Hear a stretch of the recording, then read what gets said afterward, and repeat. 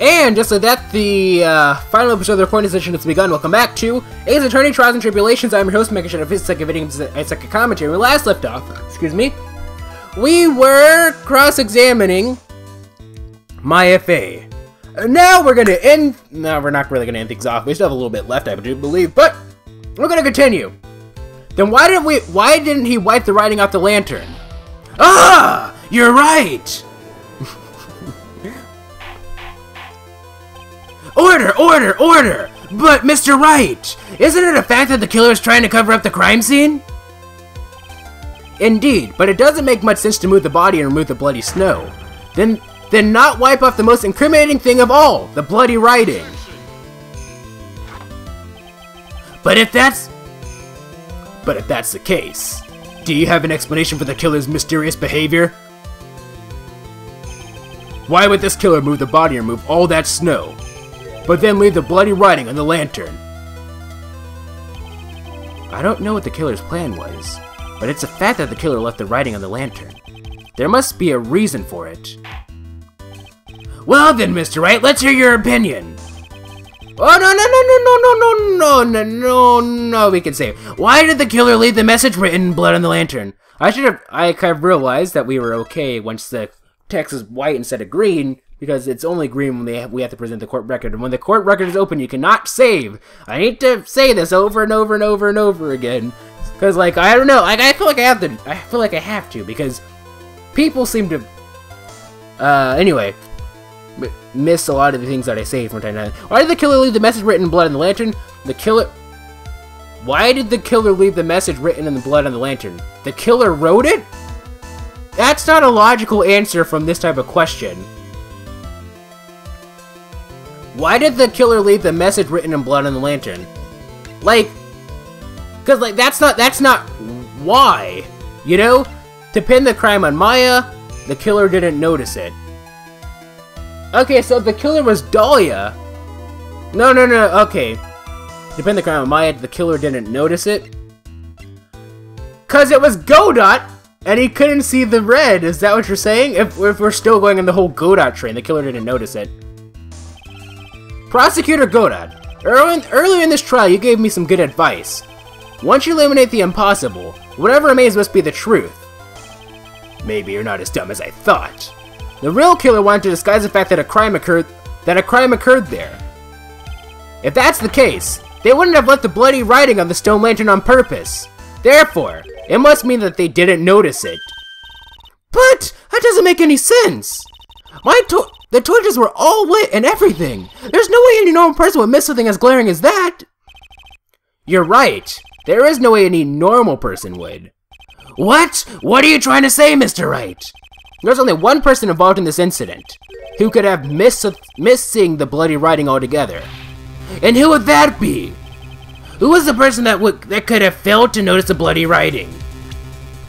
This is a freebie, I think. Godot, Mr. Godot, this is what you said yesterday. My eyesight is pretty messed up. Even with these huge goggles on my head, I still can't see everything. You can't see everything! Is that correct, Mr. Godot? This lantern was submitted as evidence today. I would like the court to think back to the moment it was first presented. This lantern! There's something written on it! Why, it's in blood!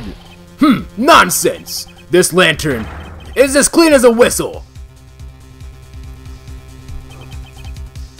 Mr. Godot, just admit it. There are certain colors you can't see, correct? You can't see red on a white background, can you? That's right. We went through this once before, during the poisoning case at Trey. This is a this is the apron the delightful Miss Byrde was wearing at the time, and somehow and somehow spilled coffee on. There's something still bothering me, Mr. Godot. Why have you not explained the bloodstain to the court? Bloodstain? What bloodstain would that be? Don't play games, prosecutor. The blood-colored stain that's smeared all over the apron. Of course, ladies and gentlemen, I already predicted this, you know, like 8,000 years ago. You're slow, game! That's that's ridiculous. No one told me anything about a bloodstain. Of course, back then, the way that they the way that they made this, pre they presented it as if it was a joke. But um, yeah, I think it's fairly obvious that you legitimately couldn't see it. You could see the coffee in the white apron, but you couldn't see the ketchup because it was red. Ha! It's strange. In a black and white photo, these letters would have appeared black to me. I wonder, why am I the only one that can't see them? So then, Mr. Godot, are you admitting it? Are you admitting that you couldn't see the red writing on the lantern?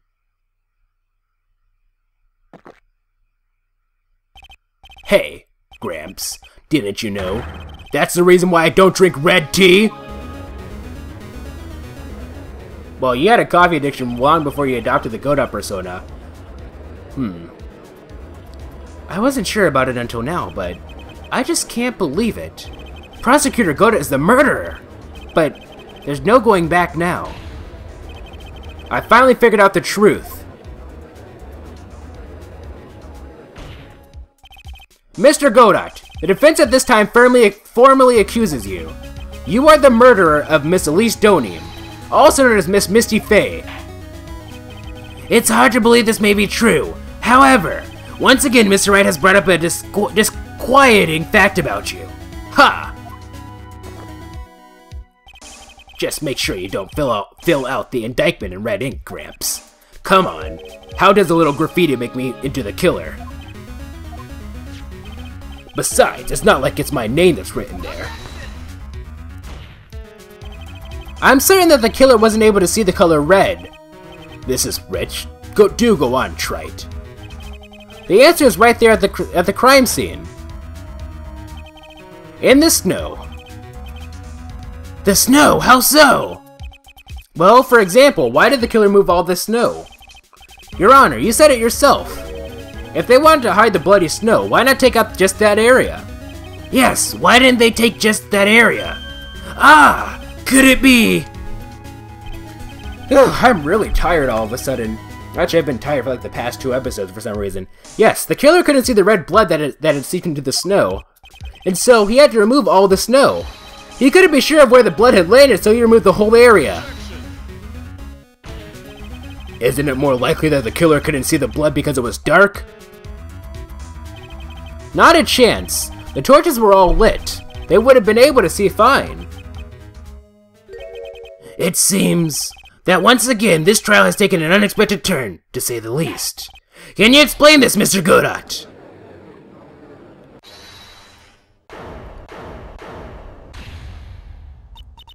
Wait! Just, just wait a minute!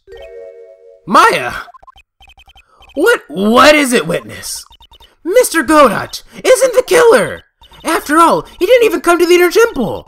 Until two days after the murder took place! He didn't show up until after the old bridge got fixed up! Maya. You can't testify to something like that. Why? What do you mean? I may not look it, but I'm... Eh! After the murder that after the murder happened, you didn't even exist. She didn't! I'm afraid I don't follow. Are you senile, old man? We established this just a while ago. After the murder, this witness was unconscious for a long time because she was channeling Dahlia Hawthorne. Oh, that's right. Please, Your Honor, let me add to my testimony. Nick, please listen to me. Maya, do you plan to cover for Godot no matter what the cost? If that's the case, then I've got no choice. Your Honor, let's hear her testimony. If it means we're going to hear the whole truth, I say we should not silence her. Ha! Nicely done, Trite. Very well, let's hear the witness's testimony. Please tell us what happened at the Inner Temple after the, after the murder. Yes, sir. After I woke up, I began channeling and my spirit left me, as it were. But that little girl was there at the Inner Temple, too. Witness testimony after the incident. Pearlie was also stuck on the Inner Temple side that night. The next morning, she looked around but couldn't find anyone.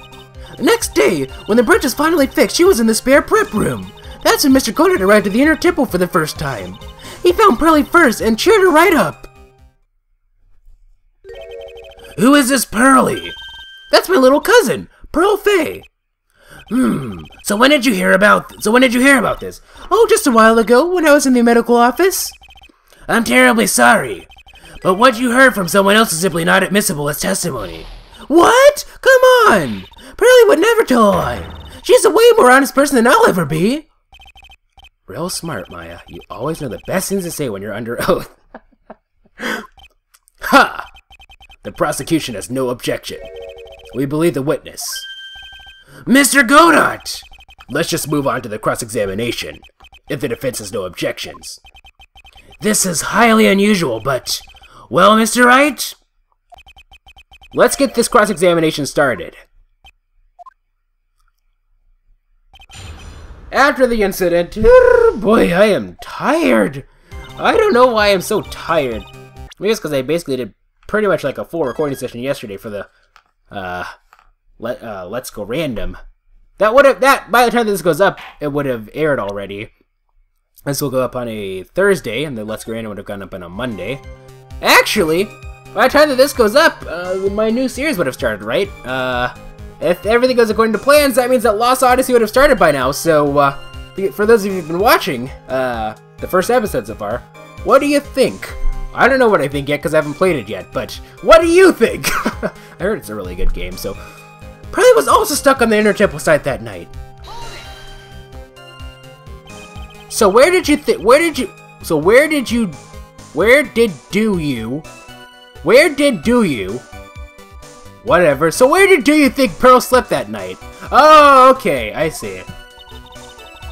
In the spare prep room next to the training hall, I guess. There's a rule that you can't enter the training hall during an acolyte's training. But even so, why didn't you go to the inner temple in the first place? It seems that Pearls became very worried about Maya. She knew that the spiritual training I was about to undergo was very intense. Pearls was supposed to channel Dahlia Hawthorne, but she couldn't do it. That's why she headed to the inner temple. However, Dahlia Hawthorne was already there, possessing the body of Elise Deauxnim. The next morning, she looked around, but she couldn't find anyone. She searched the entire inner temple side, end to end? Well, you see, Pearly gets pretty scared when she's alone, and there weren't that many places to look. She says that she even went back and forth several times. The Inner Temple site has two structures, the training hall and a spear prep room. And there's also a storage shack, I think. That's about it. There was a storage shack, too? Pearls is looking for other people, right? Would she have really examined a storage shack all that carefully? Well, if it was me, that would be the first place I would investigate. Hmm. So that means it's possible that someone may have been hiding in the storage shack. Okay, so let's let's look at what we just pressed. Okay, so next morning she looked around but couldn't find anyone. The next day, when the bridge was finally fixed, she was in the spare prep room. Pearls didn't hear the sound of them working on the bridge? What do you mean? I was just wondering why she would stay in the prep room. If it was if it was me, I'd at least go out and wait at the foot of the bridge. Oh, well, Pearly said she was sleeping at the time. She said she was so scared during the night that she couldn't sleep well and woke up a bunch of times. Poor little girl, all alone like that. Well, we know that she had at least she had at least one friend in the Sacred Cavern, Dahlia Hawthorne, who was busy battling with the trick behind with the trick lock. She couldn't let anyone see her, so she wouldn't have shown herself to Pearls. What hap what happened after the bridge was finally fixed? That's when Mr. Godot arrived at the Inner Temple for the first time! So it was your first time on the Inner Temple side, Mr. Godot? That's funny. I imagine, am I imagining things or did the defense ask me a question? Mr. Wright, please save your questions for the witness. What you heard from someone else is simply not admissible as testimony. Those are your words, Your Honor. Touche, Mr. Wright. Oh well, what do you have to say, Mr. Godot? Hot nights and even hotter coffee. That's what I always say. What do you mean by hot nights, Godot? If it hadn't been for this case, I would never would have visited there. A freezing cold temple in the mountains? I think I'll pass. So he had never visited Hazakura Temple for the or the Inner Temple, huh? Ha! You want to say something, Trite? In any case, I have to find a crack in Godot's armor. While I cross-examine Maya, that is. Very well, please go on with your testimony. After fixing the bridge, the policeman came over to the inner temple side, right? Yes, then Mr. Godot. He found Pearly first and cheered her right up. He cheered her up?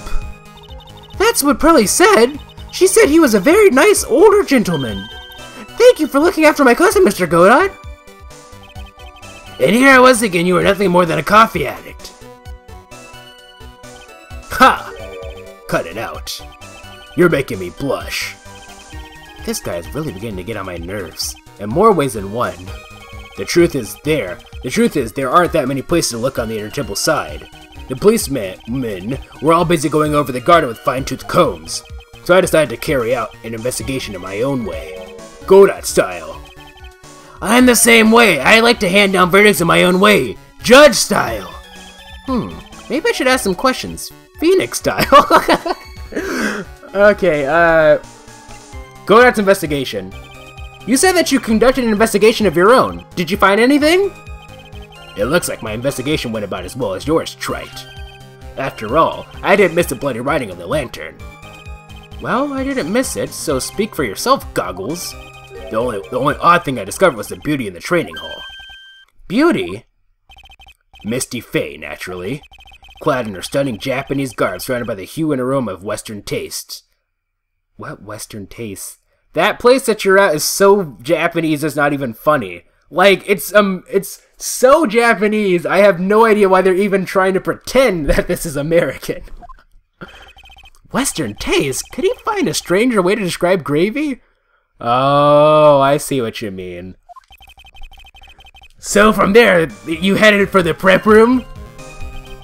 Wait a sec, what did Godot say just now? I think I just found his proverbial weak spot. There's only one thing of any importance here. Where was Godot when the murder was taking place? He must have already been at the Inner Temple when it happened. Otherwise, he couldn't have killed Elise Deauxnim. Okay, so let's go back to the last one and then press the other one. Next morning she looked... Okay, so...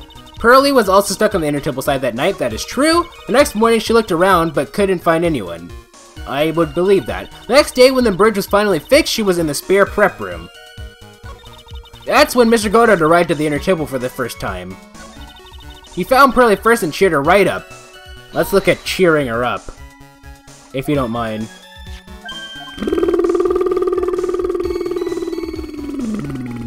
Ha, cut it out, you're making me blush. Mime Samway Judge style, Phoenix style, cheering Pearls up. So you cheer Pearls up when I found that little girl. The first thing she asked about was her cousin, Misty or Maya Fey. Really? The bridge had burned down and she was huddled up in that that tiny shack with no heat. Even though she must have had a truly terrifying night out there.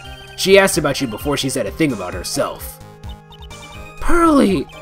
I noticed that you weren't anywhere on the inner temple side, but I couldn't find it in, my, in me to tell her that, so I gave her my last cup. With milk and sugar, to hide the bitterness of the harsh truth. what a sweet story! or, what a sweet story! yeah, a thermos, a thermos of coffee? Why doesn't that surprise me? There's only one thing of any importance here. And then we have seen this. People... Okay, so actually, hold on. Let me go back to the very end. What, what did Phoenix say? There's only one thing of importance here. I kind of missed... I, I sort of missed that, because I've only been half paying attention to everything. There's only one thing of any importance here. Where was Godot when the murder was taking place? He must have already been at the Inner Temple when it happened. Otherwise, he couldn't have killed Elise Deauxnim. And before we start presenting evidence, I want to go to the very last thing and then see Godot, where Godot was investigating. He said that he didn't get very much... He didn't, uh, when Godot arrived to the Inner Temple for the first time. That's when Godot arrived to the Inner Temple for the first time. So maybe we're going to have to present something for that. Okay, so... Alright, then let's get past all this crap. But, dot, dot, dot, dot, dot, dot, dot, dot, dot, dot, dot, Okay, so, Godot's investigation. You said that you would conduct an investigation of your own? Did you find anything? It looks like... I've been just... It looks like my investigation went about as well as yours, Trite. After all, I did miss the bloody I did miss the bloody writing on the lantern. It's like, yeah, yeah, shut up, goggles. The only odd thing I discovered was the beauty in the training hall. Beauty? And that's when he said, like, Misty Fey, naturally. Clad in her stunning Japanese garb surrounded by the hue and aroma of Western tastes. Western tastes? Could he find a stranger way to describe gravy? I feel like that's actually something that he that's I feel like that's actually something that that came from the street. that's a line that came straight from the Japanese version actually. Um so from there you headed for the prep room. Wait a sec. What did Godot say just now? I think I just found his proverbial weak spot. There's only one thing of any importance here. Where was Godot when the murder... Okay. Proverbial weak spot. Okay, so he went to the second, to the other, the other room. The next day, when the bridge was finally fixed, she was in the spare prep room. That's when Mr. Godot arrived at the inner temple for the first time. How did he know about the spare prep though? Hmm. How are we gonna prove that, though? Touch the check button. For details, maybe because he found out from his, like, investigation found stuck in the pine tree, the inner tip of the blood doesn't match the victims. Warm Blaze Stonium. Larry's sketch. Courtyard. Yeah, it's not gonna do anything for us now. Taking the night from main Dusky main hall to Dusky Bridge. This is the only one that I think that we'd have to present evidence for, because everything else seems truthful to me. Take the night from the main goal, Dusky Bridge. That's not gonna do anything for us. Elise's photo. Stab body fell 10 feet after death. Is a sword, the actual weapon used to murder the, the murder the victim, but it's not the murder weapon. Regional weather report, night of the crime. Received before lights out bell. Picking for our own pupil. Misty Fey's image is obscured by gravy touch echoing for details. I don't see how that proves anything at all. I don't think that proves- I don't see how that proves anything at all. This is like a temple the surrounding area. An occult magazine featuring But we're gonna present it anyway, because he did he did mention like the gravy and everything, and I don't even know what I'm. I I I I'm legitimately like I sort of took it a challenge on myself too. Like they said that um you know they're like Phoenix, it's time for you to do this on your own. I want to do this on my own too. No looking up any walkthroughs or anything. That's what I want to do. I mean, just because you know, end this with a bang. You know, with my own detective work. Burnt letter. Elise's autopsy report. For the first time. This doesn't prove anything, though. But, he did mention... Cause, let me go back to this one more time. Let me go back to this one more time. Cause he was like, wait a minute, what did, what did, what did Godot just say? Ha ha ha ha, cut it out, you're amazing. You're making me blush. Phoenix style! Godot's investigation. You said that you conducted an investigation of your own. After all, I didn't miss a bloody writing. Only odd thing I discovered was the beauty in the training hall. Beauty? Misty Fey, naturally. Clad in her stunning Japanese garb, surrounded by the hue and aroma of Western tastes. Yeah, because it was covered in gravy. Western taste, could you find a stranger way to describe gravy? So from there you headed from the prep room. Wait a sec, what did Godot say just now? I think I just found his proverbial weak spot. What? What? I don't. I don't see what it is, Phoenix. I don't. There's only one thing of any importance here. Where was Godot when the murder was taking place? He must have already been at the inner temple when it happened. Okay? Otherwise he couldn't have... I mean, like, I know, but, like, what evidence are we supposed to prove? Like, I know what we're supposed to prove. We're supposed to go to the one that says, like, the next day when the bridge was finally fixed, she was in the spare prep room. That's when Mr. Godot arrived at the inner temple for the first time. We had to present something for this, but what? Lantern for the inner temple... Perhaps he, perhaps we could say, how did you know that was odd? How did you know that it wasn't always covered in gravy for like a long... But then again, a normal person would question, a normal person would question why a hanging scroll is covered in gravy, but we're gonna do it anyway. Mr. Godot, the first time he crossed Dusky Bridge and went into the Inner Temple was long before the murder took place. Then again, how would he know that it was Misty Fey if it was covered in gravy? Oh, I didn't even think about that. Why do you say that? Because he just made one fatal slip-up. The hanging scroll in the training hall. Hanging scroll? But... Mr. Godot is right! That scroll shows a picture of my mother! Maya, I know you know who it is, but here's something you didn't know. By the time the bridge had been repaired, two days after the murder, the hanging scroll in the training hall looked like this. What's that wonderfully delicious smell? The morning after the crime, someone covered it with gravy. Gravy? But why gravy, Nick? Because gravy is much more than a condiment to the culprit. Well, Mr. Godot, if you really hadn't seen the hanging scroll until after the murder, you wouldn't have had any way of knowing that it was Misty Fey. I mean, well, there is the master thingy, but that, still, the scroll could have been from any time.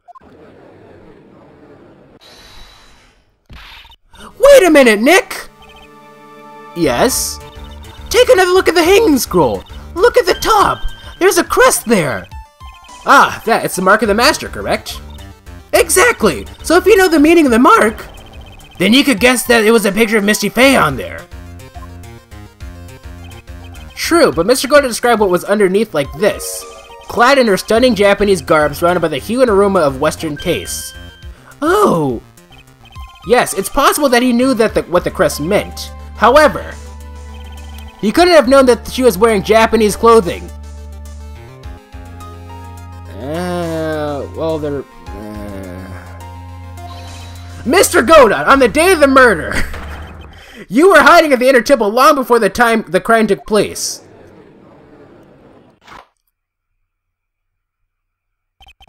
Can I ask you just one little thing, Trite? What is it? This whole theory of yours. It all rests on a certain assumption. That I knew beforehand that a crime was going to be committed. That's right! Otherwise, there's no reason for him to sneak onto the crime scene. Of course Mr. Godot knew about the plan. Sure he did! Yeah, he, he certainly did! Uh-huh! Yeah, yeah! I know you're gonna ask me to present evidence, game! I'm on to you! From Save Point. Of course Mr. Godot knew the plan. I really do embody Phoenix in more ways than one, don't I? huh? Uh, what did you say? Is it really possible that another person knew that knew of that plan? Oh, well, there was the whatchamacallit, the burnt letter. This crime scene, this crime was actually planned over a year ago. Morgan Fey authored the plan for her daughter's future, and these instructions were hidden somewhere in the Fey Manor for a year.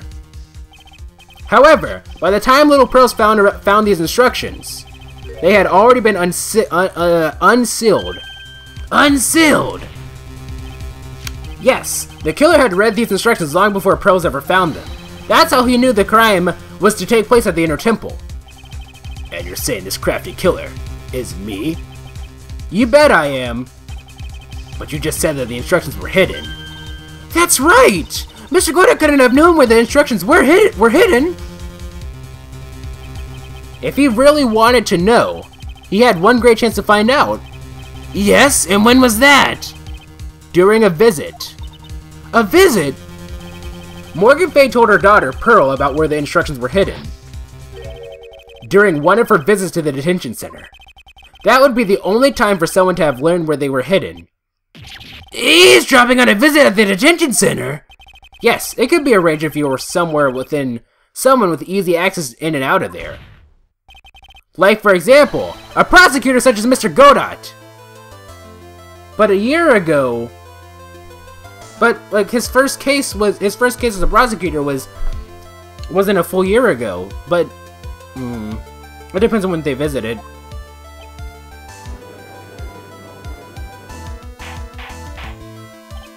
Order! Order! Order! Mr. Godot, you're under fire again!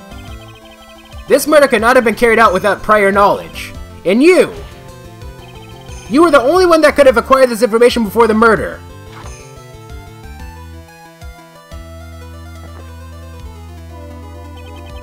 Humans are afraid of the dark. And yet, At the same time, we're fascinated but bewitched by it. Maybe that's why humans drink the darkness is coffee. Um, sorry for always asking, but what does that mean? Am I the only one who actually understands all of Godot's, like, metaphors? I feel like they're actually pretty easy to follow, for the most part. It means there's a reason for everything. According to your theory, the killer in this case eavesdropped on a conversation during a jail visit where he learned of a hidden place plan of a crime. After discovering the plans, he hid in the he hid in the inner temple and waited for the crime to occur. Then he ultimately took a person's life. And he did all of that just to protect this witness. That's right. If you're accusing me of this crime, I have to ask you, why would I do this?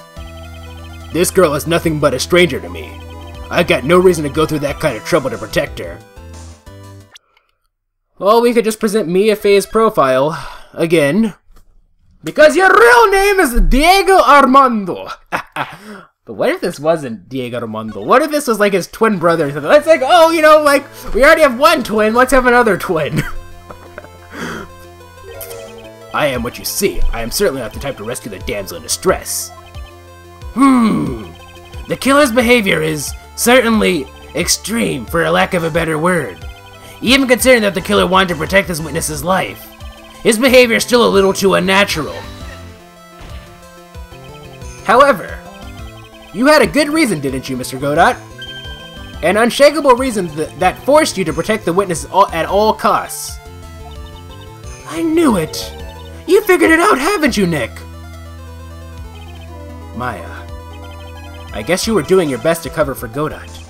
For the same reason, huh? Hmm, I see.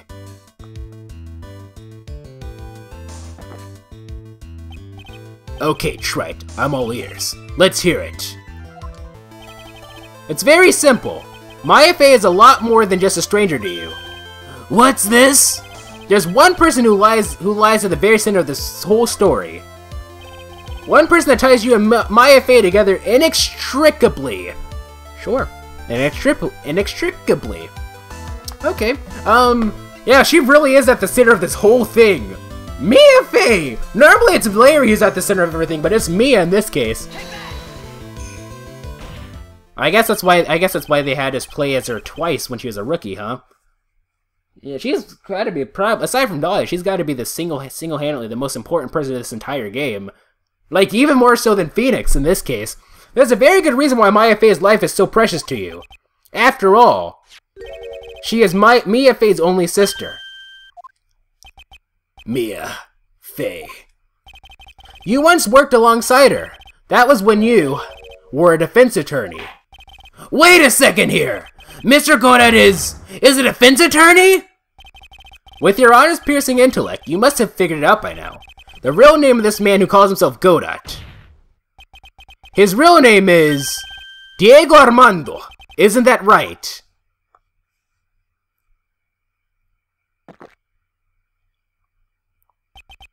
The last time someone called me by that name was over six years ago. Diego Armando. That name rings a bell. It should, Your Honor. All of this is related to a single case. A case in which a convict named Terry Fawles killed himself. Mia Fey's first time in court, the tragic outcome left a deep wound in her heart. She knew that behind it all was a heartless, scheming demoness in disguise. But in the end, Mia couldn't tear off that disguise. However, there was one man who reached out to help her. Diego Armando, a senior defense lawyer at the office where Mia worked. It's my fault! It's all my fault that Mr. Fawles killed himself! Mia, you can't cry yet.